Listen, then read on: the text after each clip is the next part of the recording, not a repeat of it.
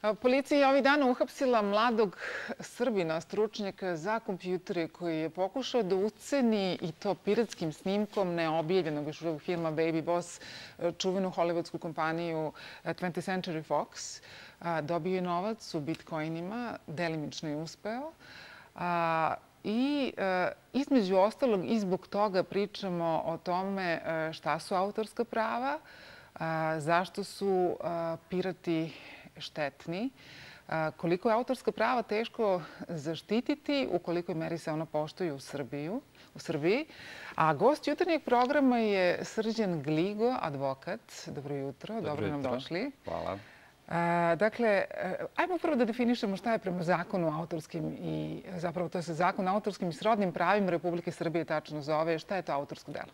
Pa, autorsko delo je originalna duhovna tvorevina autora, bez obzira na oblik u kojem je izražena i bez obzira na njenu naučnu, e, umetničku i drugu vrednost.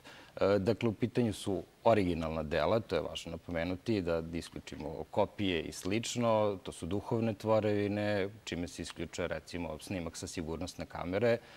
Svako neko delo koje mi e, stvorimo predstavlja autorsko delo. Postoje tu neki izuzeci u smislu ideje, nisu autorska dela i slično.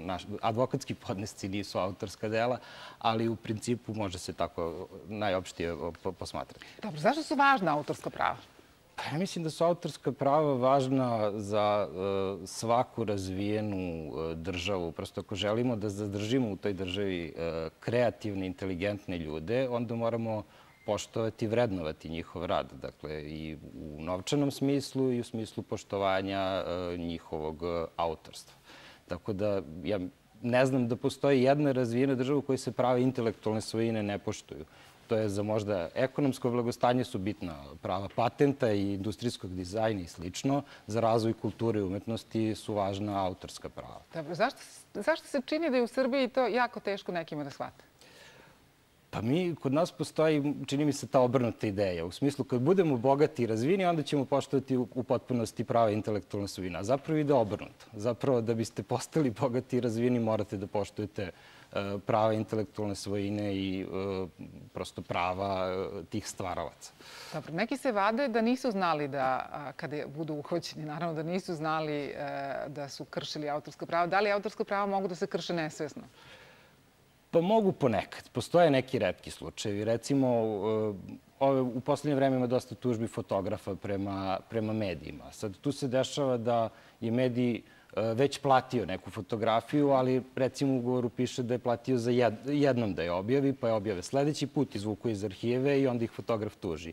Ili recimo da je fotograf bio u radnom odnosu u mediju, on ima autorsko pravo, iako je na, poslat na zadatak da snimi fotografiju i slično, ali kad prođe pet godina, e, mediji više nemaju pravo na tu, ni na ekonomsko iskorišćavanje te fotografije. Znači, sva prava pripadaju tom fotografu. E onda mediji opet imaju u arhivi tu neku fotografiju za koju smatra da je njegova. Prosto su i zaboravili i kad je napravljena i ko. I objave je i dođe do toga da budu tuženi. Koliko taj fotograf zna da ima pravo na zaštitu posle pet godina i da može da tuži firmu koja je radio? Pa zna, ako se konsultuje sa advokatima. Je se to događa često događa da tuže? Pa događa se.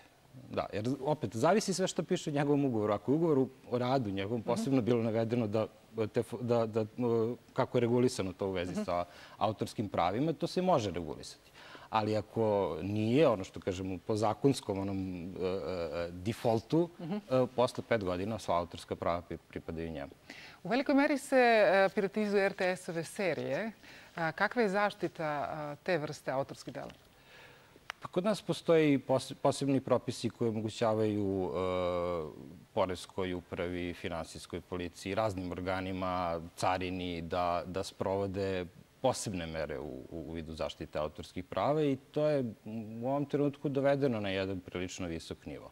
S tim da opet e, jako je teško i goniti te neke male uh, pirate gde često veliki uh, izdavači uh, nemaju toliko ni interesa da sad svakog pojedinačno gone i tako dalje. A stvar je opet u tome tu je možda deo gde nismo dovoljno došli, što e, piraterija predstavlja i krivično delo. I to je, to je nešto više od te naknede štete i slično.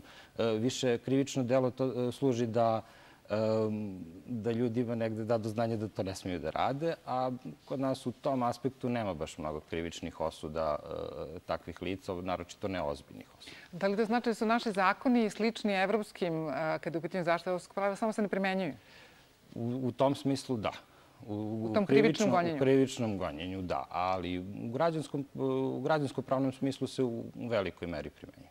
I da, slični su kao evropski, jer mislim, mi smo potpisnici svih uh, međunarodnih konvencija, konvencija -huh. još od 1886. A još od tada, aha? Da, od Bernske. Da. imamo, dalik, imamo dugotrajan staž da, u, u potpisivanju, ali ne u primjeni.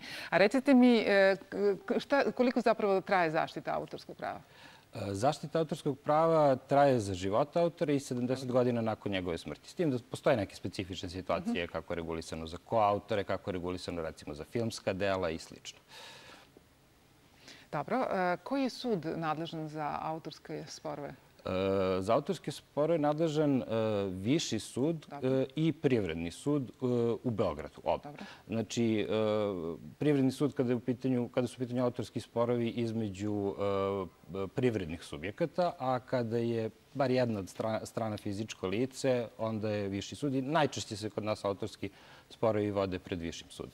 E, posebno je mhm. propisano da za celu Srbiju je nadležan Viši sud u, u Beogradu i Privredni sud u Beogradu. Dobro, i sad mi recite kolike su naknade e, za ovu vrstu povreda?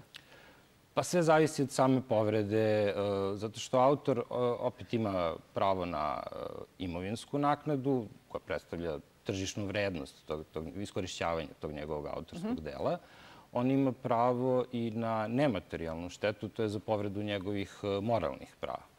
Tako da e, to mnogo zavisi od toga koje, koje vrste Dobro, recimo primjer ovog fotografa koji je radio za nekakvu državnu firmu, posle pet godina povredili su njegovo pravo? Pa, u sudskoj praksi se najčešće uzima e, cenovnik jednog udruženja fotografa i to sad opet može biti od 30 pa do 300 eura za fotografiju. Opet sve zavisi od veličine fotografije, da li je na mhm, mhm. naslovnoj strani visokotiražnih novina, na primjer. Da, to je tam vrednost fotografije, odnosno materijalna šteta. Nematerijalna šteta, e, on, obično e, do nje dolazi zato što su povređena moralna prava autora u smislu da nije naznačen kao autor fotografije ili da je njegova fotografija, njegovo autorsko delo izmenjeno bez njegovog ovlašćenja. To kod fotografije, fotografije je često ono kropovanje, dakle smanjivanje fotografije. I naknade su obično oko 40-50 hiljada dinara s tim da često oni kumuliraju, znači da traži povredu za duševni bol koji je pretrpeo uh, time što je u jednom iznosu što... Jel dobiju? To što traže je okej, nego da li dobiju? Pa, m, sud je tu da odredi pravičnu naknadu i dobiju. Dobiju da. neku naknadu i za, za, za, za, tu duševnu bol, samo sve zavisi od uh, konkretnog slučaja i procene sudije koliko njemu pripada, jer se te naknade za nematerijalnu štetu se uvek paušalno određuju. Uvek sud određuje neku pravičnu naknadu koja služi da, kao da kažemo, satisfakcija tom licu da, da, da, da nadoknadi taj njegov duševni bol. Hvala što ste bili gosti jutarnjeg programa. Hvala.